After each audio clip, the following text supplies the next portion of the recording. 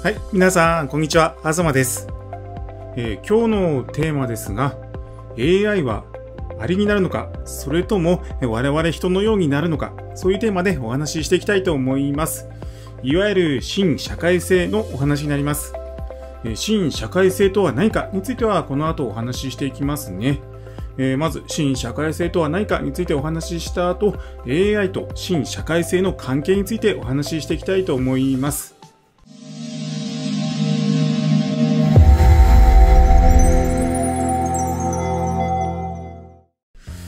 それではまず、新社会性とは何かについてなんですけど、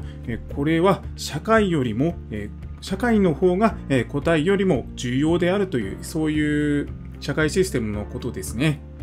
いくつかの動物でこのような形態が見られます。新社会性の動物の社会においては、一部の個体のみしか子孫を残すことができません。え大半の個体はえ子供を残さずに一生を終えることになるんですね。そして、その社会における子供はえ社会の一員として育てられることになります。えまた、え新社会性の社会においては、え高度な分業が行われます。えそのその個体が属するカーストによって、え行う作業というのが異なるんですね。他にも様々な特徴が新社会性の社会にはあります。では、新社会性の動物にはどのようなものがいるのでしょうか？いくつか挙げていきますね。えーまずは、蜂やアリなどの仲間になります。えー蜂も、えーそれぞれの分業が決まっているそういう種類ですね。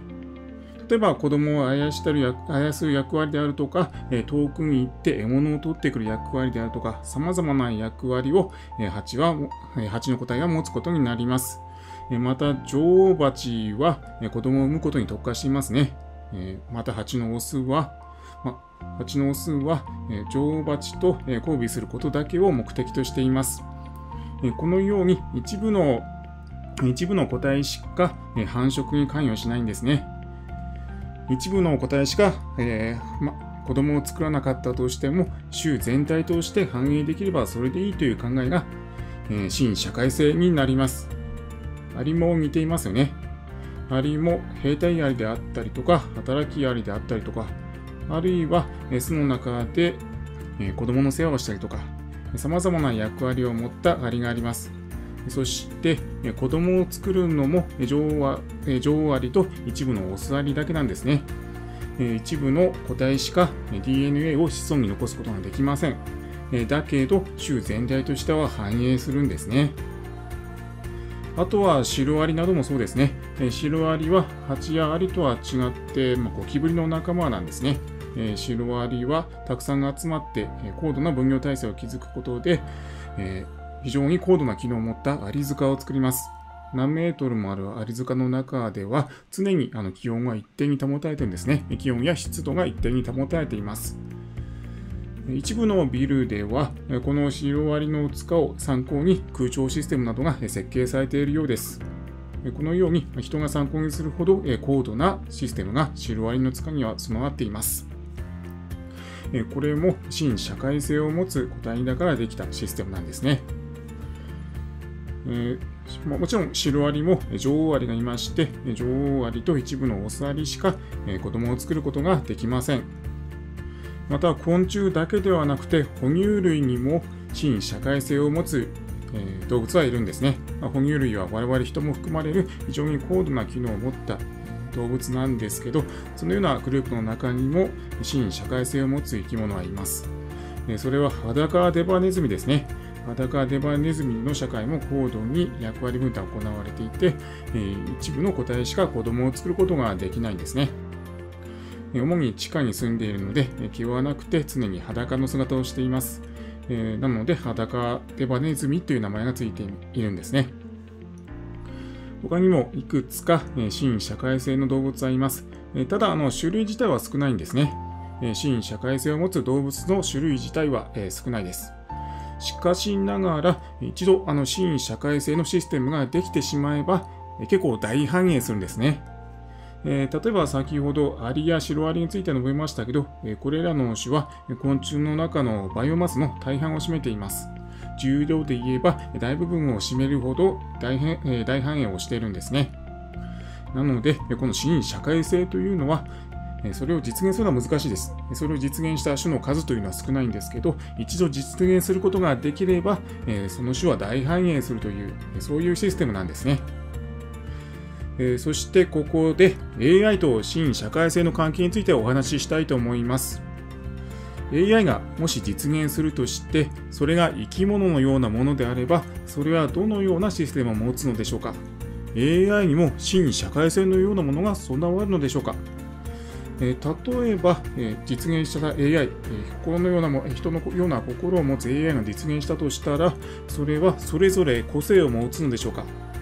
それとも、え超 AI のように、え巨大な AI が一つあって、残りの AI を全てコントロールするのでしょうか？もし超 AI が出現するとしたら、それはある意味、新社会性のようなものになるかもしれないですね。すべての個々の AI は、えその AI 全体、超 AI に、え貢献して、超 AI が反映するために、え存在する、そのような存在になるかもしれないですね。えただ一方、あの新社会性を持たない他の動物のように、それぞれが個性を持つ、そういうスタイルになるかもしれません。どちらがいいんでしょうね。AI に新社会性はえ備えるべきものであるのか、それとも備えるべきものではないのか、どちらになるんでしょうね。この新社会性というのは、まあ、近いものが我々の社会でも見られたりします。えー、昔の日本の社会では、特に戦後の社会では、えー、子供を社会全体の所有物としてみんなで育てる、そういう風潮があったらしいですよね。あと、我々の社会では、それぞれが職業を持って高度な分業が行われています。一部の個体のみ子孫を残すということはないんですが、ただ、歴史上を遡ってみると、強い王様がいて、その王様がたくさんの子供を作って、えー、一部の DNA のみが、えー、残るということは、えー、しばしば起きたようです。実際に DNA の解析をしてみると、え狩猟時代ですかね、え石器時代、狩猟時代のある時期において、極端に DNA のバリエーションが少なくなるようですね。えこのような一部の個体のみ子孫を残すということが、え我々の人間の社会においても、え見られることはあるようです。なので、新社会性とそうでない生き物の境目というのははっきりと分かれているわけではなくて、なだらかにつながっているという考えることもできますね。AI が新社会性を備えるとしたら、超 AI になるのか、それともそれぞれが個性を持つのか、どちらかに分かれるのではなくて、どちらか一方になるのではなくて、そのグレーゾーンに一致するという可能性もあるんではないかと思います。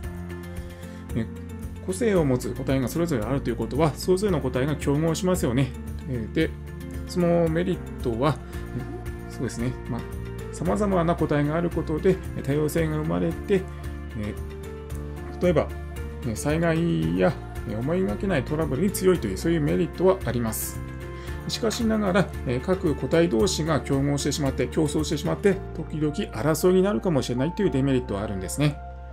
え、超 AI の場合、一方、争いはないというメリットはあります。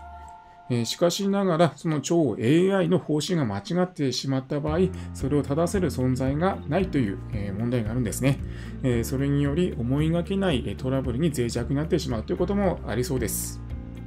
従いまして、え個性を持つのか、それとも統一されるのか、どちらかがいいというわけではなくて、その間のグレーゾーンに位置するということも十分考えられるかと思います。競合と調和ですね。競合と調和、その2つがうまくバランス取れるように AI というのは位置していくのではないかと私は考えていますね。はい。それでは今日のお話はこれぐらいにしておきます。お話を面白いと思った方は、ぜひチャンネル登録や高評価の方お願いします。また、ご意見のある方は、コメントの方よろしくお願いします。先週ですが、新しくコミュニティの方を始めました。ウェブ上のコミュニティの自由研究室、エアーズラボと言います。